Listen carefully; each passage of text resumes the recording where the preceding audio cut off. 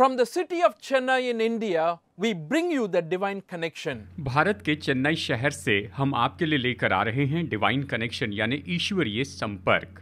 This is a thirty minute program and we thank you for being our guest ये तीस minute का programme है और हम आपको धन्यवाद देते हैं कि आप इसमें हमारे साथ जुड़े और हमारे मेहमान बने हैं। And we always share from God's word which is the Bible हम हमेशा परमेश्वर के वचन से यानी बाइबल से हम यहाँ पर इन सारी बातों को बताते हैं। Because we believe this is one very important way in which God connects with us क्योंकि हम विश्वास करते हैं कि ये सबसे महत्वपूर्ण मार्ग है जिसके ज़रिए परमेश्वर हमसे बात करते हैं। Because when a person opens the Bible and read the words found in the Bible क्योंकि जब कोई व्यक्ति बाइबल खोलता है और बाइबल में लिखे हुए वचनों को पढ़ता है and the words impacts the life of people और ये जो वचन है ये लोगों के जीवन पर प्रभाव डालता है। इट चेंजेस द ये उस व्यक्ति को बदल देता है। Ultimately resulting in the transformation of himself and through him the community and the society और इसके कारण उसके जीवन में बदलाव आता है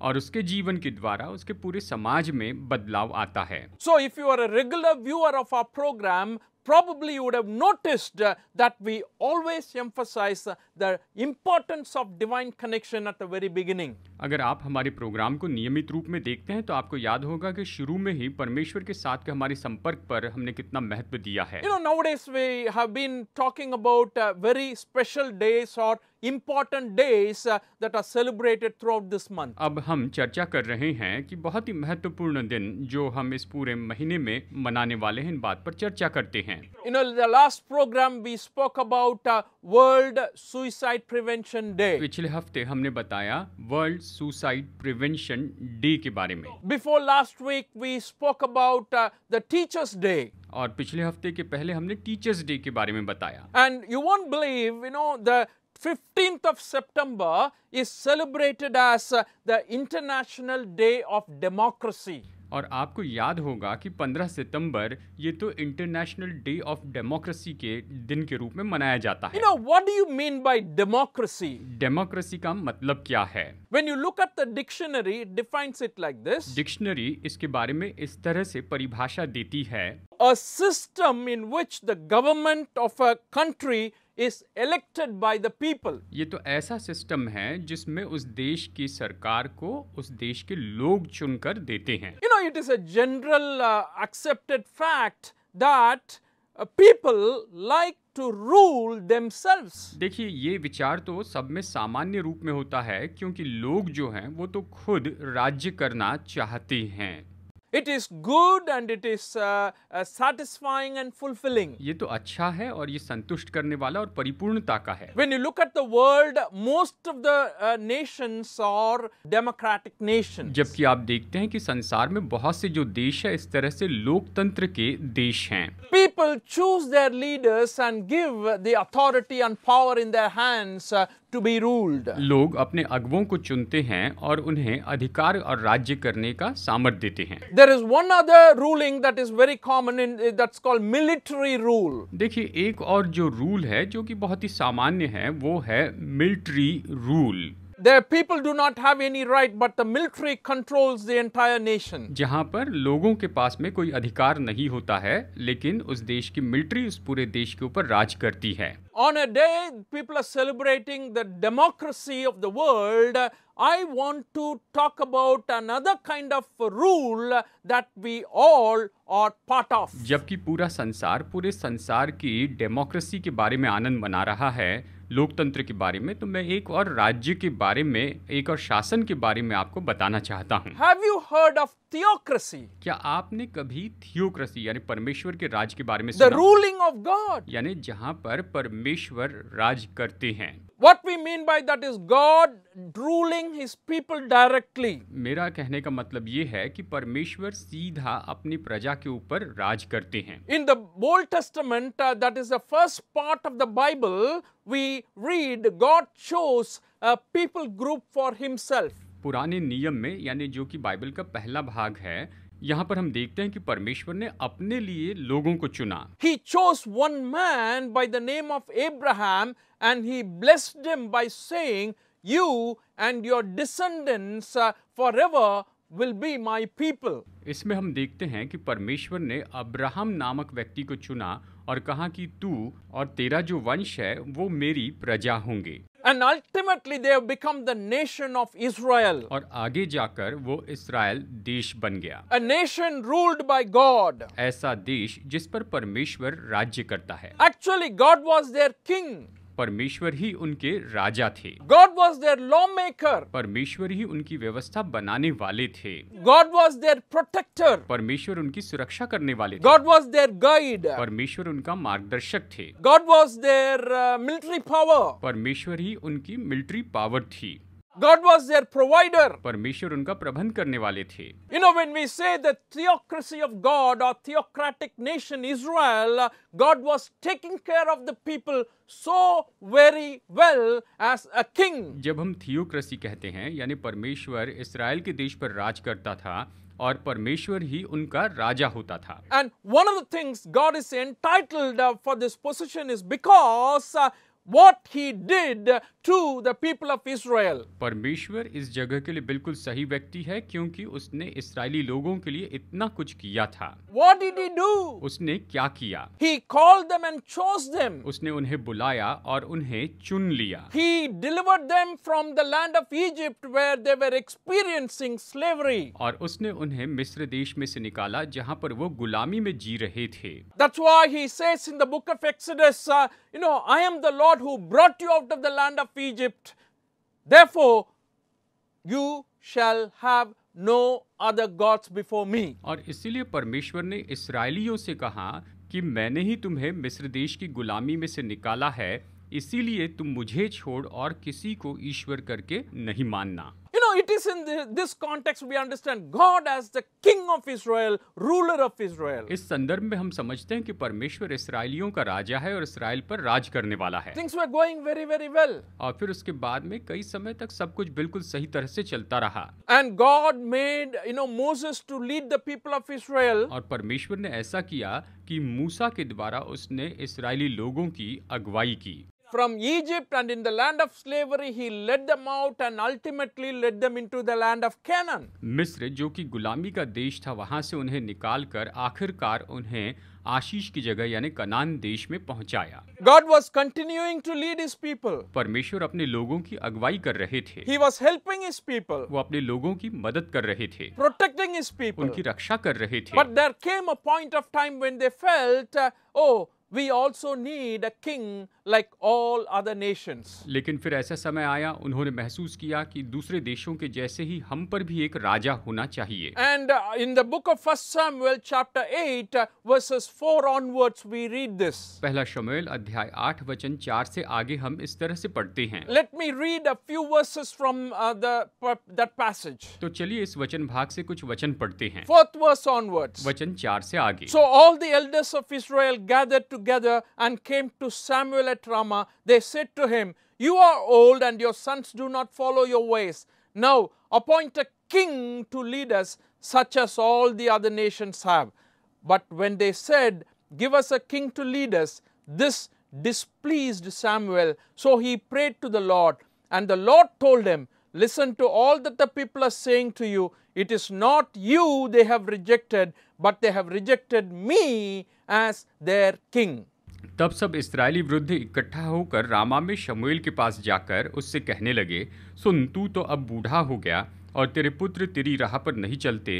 अब हम पर न्याय करने के लिए सब जातियों की रीति के अनुसार हमारे लिए राजा नियुक्त कर दे। परंतु जो बात उन्होंने कही हम पर न्याय करने के लिए हमारे ऊपर राजा नियुक्त कर दे ये बात शमुएल को बुरी लगी। और शमुएल ने यहुआ से प्रार्थना की। और यहुआ ने शमुएल से कहा वे लोग जो कुछ तुझसे कहें उसे मान ले क्योंकि उन्होंने तुझको नहीं परंतु मुझी को निकम्मा जाना है कि मैं उनका राजा न रहूँ। यहाँ पर परमेश्वर ने शमुएल से कहा कि उन्होंने मुझे निकम्मा जाना कि मैं उनका राजा न रहूँ ऐसे कहा। And this is very important uh, uh, point in the life of Israel when so far, when they were ruled by God, they enjoyed all the blessings, and right now they are asking for a king like all the other nations. ये तो इसराइलियों के जीवन में बहुत ही महत्वपूर्ण समय था जब तक कि परमेश्वर उन पर राज कर रहा था तब तक वो सारी आशीषों का आनंद उठा रहे थे लेकिन अब उन्हें एक राजा चाहिए था Because of time, I am not reading the verses from 10 to 18 where some Samuel, prophet Samuel, explains uh, the pros and cons of uh, having a king in Israel. समय की कमी के कारण हम वचन 18 तक तो नहीं पढ़ेंगे लेकिन यहाँ पर शमुएल इसराइली लोगों को बताता है कि उनके ऊपर राजा होने के कारण उन्हें क्या क्या करना होगा He says you will be taxed heavily. और उसने कहा कि तुम पर भारी कर लादा जाएगा ऐसे शमुएल ने कहा At the same time, he will use your children for his purposes, for his work और इसी के साथ साथ वो अपने कामों के लिए तुम्हारे बच्चों का उपयोग करेगा। You will become cooks and bakers और तुम उसके लिए रसोई बन जाओगे तुम उसके लिए खाना पकाने वाले हो जाओगे। He will take one tenth of your grain और वो तुम्हारे अनाज का दसवा भाग ले लेगा। Oh, there is so much of laws, uh, you know, because you ask for a king. But if you're asking for a king again, God said it is okay to have a king. तुमने राजा मांगा है इसलिए तुम्हें ऐसे बहुत से काम करने पड़ेंगे और ठीक है अगर तुम्हें राजा चाहिए तो मिल जाएगा Dear friends, when we celebrate democracy, you know, I want you to think about from the Bible, our democracy is basically having God as our leader, God as our king, God as our ruler. दोस्तों जब आप democracy के बारे में लोकतंत्र के बारे में सोचते हैं तो मैं यही विचार देना चाहता हूँ कि आप परमेश्वर को अपने अगवे के रूप में अपने मार्गदर्शक के रूप में ज़रूर देखिए When we celebrate democracy, we uphold the freedom uh, that is given to the people. जब हम लोकतंत्र मनाते हैं तो लोगों को दी गई आज़ादी की हम सराहना करते हैं And I believe that is very, very important. ये बहुत महत्वपूर्ण है But from a biblical perspective, I see that these people were led by God so beautifully, so wonderfully, amazingly, and at one point of time they said, We don't want you, God, we want to have a king like all the others. लेकिन Bible के अनुसार देखें तो जब परमेश्वर उन पर राज कर रहा था तो उन्होंने अपने जीवन में बहुत सी आशीषें पाई और अब कह रहे थे कि परमेश्वर हमें तू राजा के रूप में नहीं चाहिए हमें अपना एक राजा चाहिए The rule of God, the Bible teaches a lot about. परमेश्वर जो राज करते हैं उसके बारे में बाइबल हमें बहुत कुछ सिखाती है You know, when you talk about the rule of God, I want you to understand uh, God's rule is happening even today. जब परमेश्वर के राज के बारे में कहते हैं तो निश्चित आज भी परमेश्वर का राज है In what sense it is happening today? आज किस क्षेत्र में ये हो रहा है You know, God is in control. परमेश्वर नियंत्रण करते हैं Our God reigns. हमारा परमेश्वर राज करता है And I want to emphasize that the rule of God in the lives of people is as crucial as we celebrate democracy globally. जैसे कि हम वर्ल्ड डेमोक्रेटिक डे को मनाते हैं तो निश्चय मैं यहाँ पर इस बात पर ज़ोर देना चाहता हूँ कि हमें परमेश्वर के राज्य के बारे में निश्चय ही सोचना चाहिए। जैसे पूरे संसार में लोकतंत्र हम मनाते हैं तो इस बात को हम देखें। And I want to tell you that God is interested in giving us the freedom, मैं बताना चाहता हूँ परमेश्वर हमें आज़ादी देने में दिलचस्पी रखते हैं। even to choose. यहाँ तक कि चुनाव करने का अधिकार देते हैं You know what we were talking about when Israelites wanted to choose a king for themselves? मैं ये कह रहा हूँ कि जब इसराइली लोग अपने लिए एक राजा चुनना चाहते थे God was not very strict and say, Oh, I only will rule you, I will not allow you to have a king. परमेश्वर ने कठोरता से ये नहीं कहा कि मैं ही तुम पर राजा रहूंगा और मैं नहीं चाहता कि तुम राजा रखो He allowed the people to have their own king. उसने उन्हें अनुमति दी कि लोग अपने ऊपर एक राजा नियुक्त करें And that's the kind of God we have. और हमारे परमेश्वर इसी तरह के हैं So, when we say, what is the meaning, you know, that we are ruled by God, we say that God permits the kingdoms of the world to have power, and that is what we say, you know, God is ruling, and in particular, God rules uh, in people's heart today. जब हम कहते हैं कि परमेश्वर राज करते हैं तो इसका मतलब ये है कि परमेश्वर उन राज्यों को सामर्थ्य में आने देते हैं और परमेश्वर लोगों को नियुक्त करते हैं और इस तरह से आज परमेश्वर अपना राज करते हैं Uh, you may tell me, oh, no, no, no. शायद आप कहें नहीं नहीं He has a party on his own. उनकी अपनी पार्टी है आप कहेंगे Uh, he has people who propagated his agendas, लोगों ने उनके एजेंडा के बारे में बताया and people responded to that positively, and that's why he is king. और लोगों ने उन्हें सकारात्मक रूप में प्रत्युत्तर दिया और इसीलिए वो इस पद पर नियुक्त किए गए But I want to tell you from the biblical perspective, मैं आपको बाइबल में से ये बता रहा हूँ in the book of Romans, chapter 13, verses 1 and 2, we read like this रोमियो तेरह वचन एक और दो में हम ये पढ़ते हैं Let everyone be subject to the governing authorities, for there is no authority except that which God has established. हर एक व्यक्ति शासकीय अधिकारियों के अधीन रहे क्योंकि कोई अधिकार ऐसा नहीं जो परमेश्वर की ओर से न हो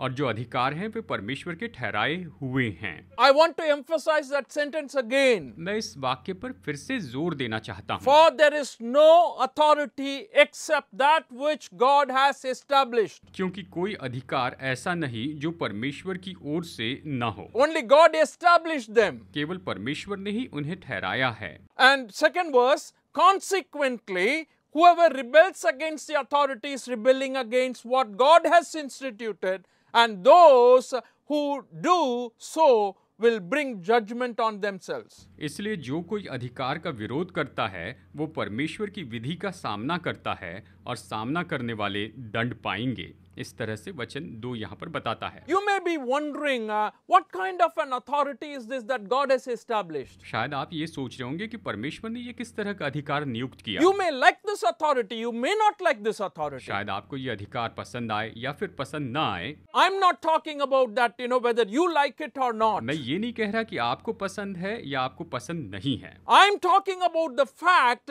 that the end power is something that is allowed by God and established by God. मैं ये कह रहा हूँ कि सामर्थ और अधिकार की अनुमति तो परमेश्वर ने दी है और इन्हें परमेश्वर ने ही स्थापित किया है Oh, you may be thinking that, oh, this government is not good for this people or this particular group of people. शायद कुछ लोग सोचते होंगे कि ये जो शासन है ये इन लोगों के लिए या इन समूह के लिए शायद उतना अच्छा ना हो But I want to tell you, friends, Bible very clearly emphasizes this fact.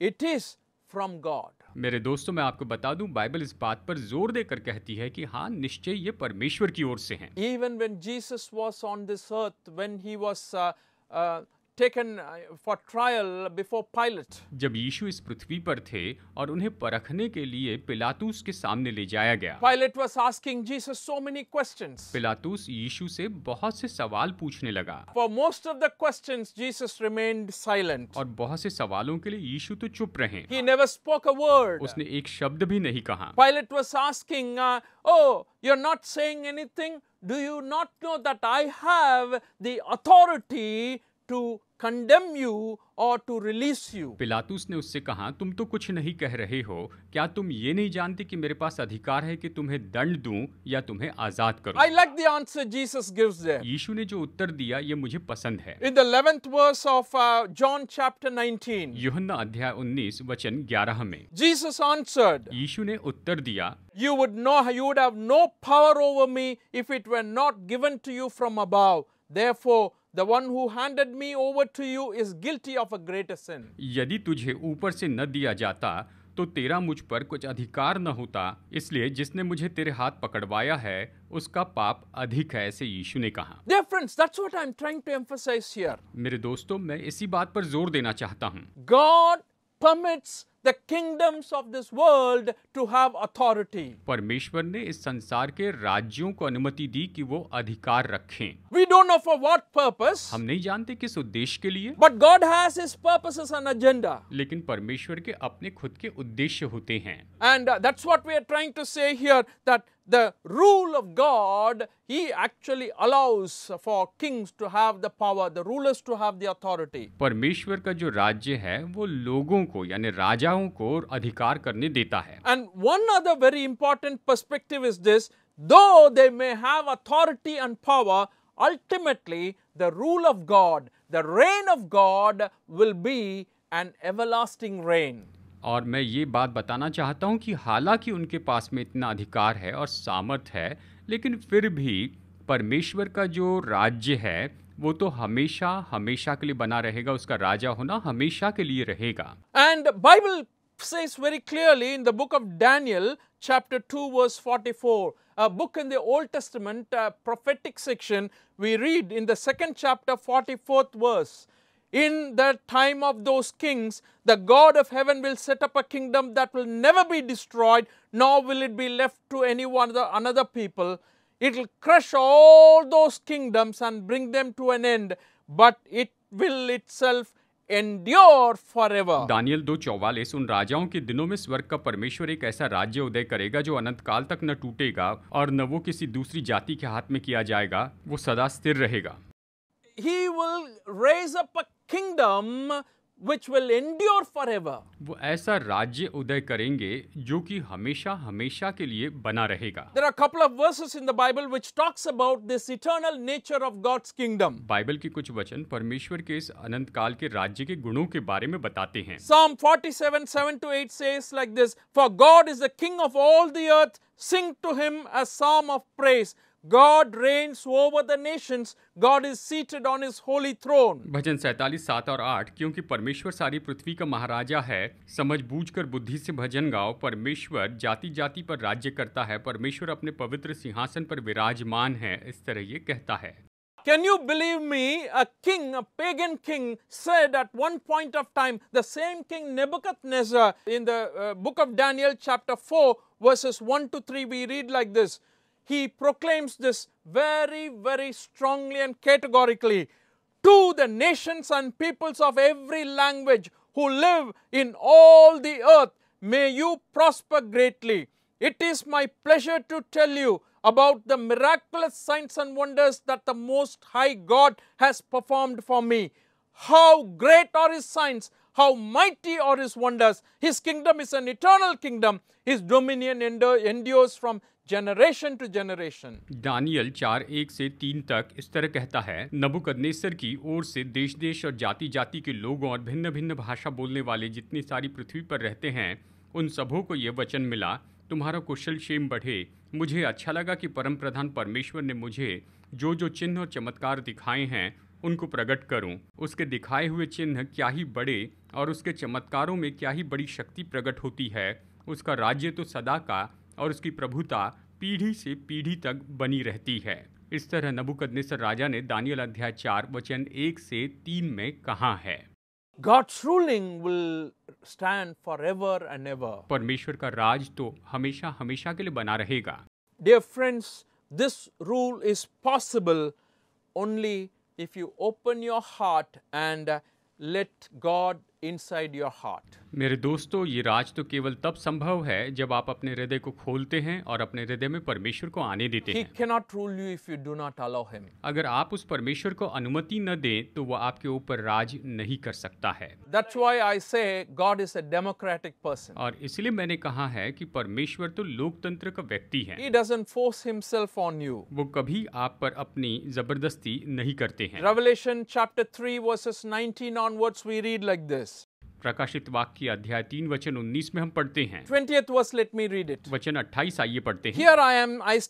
Door and knock if any one hears my voice and open the door I will come in and eat with person and they with me देख मैं द्वार पर खड़ा हुआ खटखटाता हूँ। यदि कोई मेरा शब्द सुनकर द्वार खोलेगा तो मैं उसके पास भीतर आकर उसके साथ भोजन करूँगा और वो मेरे साथ। ही नॉक्स वो द्वार खटखटाने वाले परमेश्वर है। Only if he if you open he can come in and rule in your heart अगर आप द्वार खोलेंगे तो वो भीतर आकर आपके हृदय पर राज करेंगे। It's voluntary dear friends it is your choice ये तो आपका चुनाव है मेरे दोस्तों आपकी इच्छा है। God is not going to force you परमेश्वर ज़बरदस्ती नहीं करेंगे। God is giving you the freedom to choose परमेश्वर आपको चुनने की आज़ादी देते हैं स्वतंत्रता देते हैं। He gives you the he gives you the choice to reject this rule वो आपको चुनाव देते हैं कि चाहे तो आप उसके राज का इनकार कर सकते हैं। He is a great God I tell you और मैं आपको बताऊँ वो तो महान परमेश्वर हैं। Who is a God like you उस परमेश्वर के जैसे कौन है? Micah says in the book of Micah chapter 7 verses 18 and 19 Micah 7 18 और 19 में मीका कहता है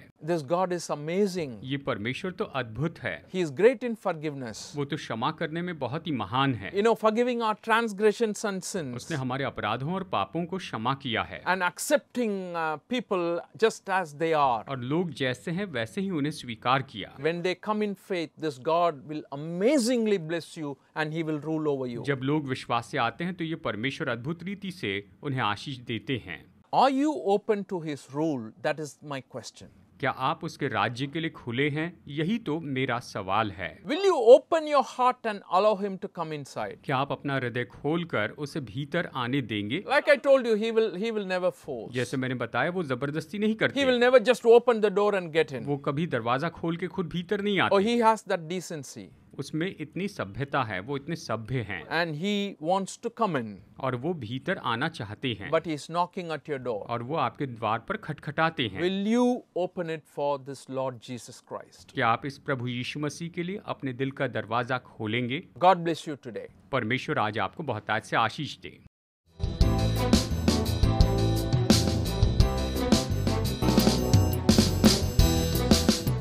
Study the word of God in a private and personal way through our online study website. Contact number